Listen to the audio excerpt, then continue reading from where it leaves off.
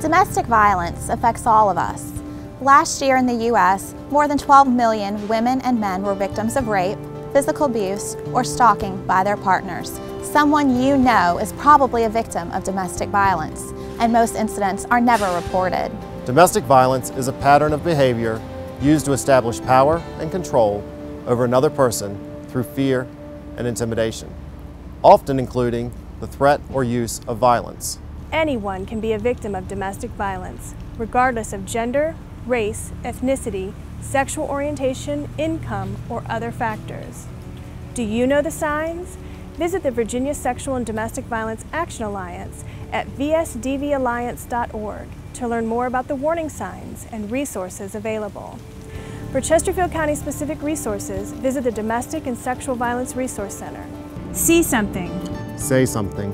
Do something.